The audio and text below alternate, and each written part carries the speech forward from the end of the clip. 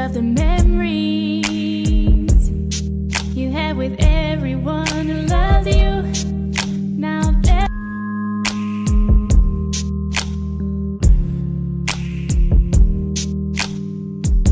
today is your birthday, means today it's all about you. Time to think of the memories you had with everyone who loved you.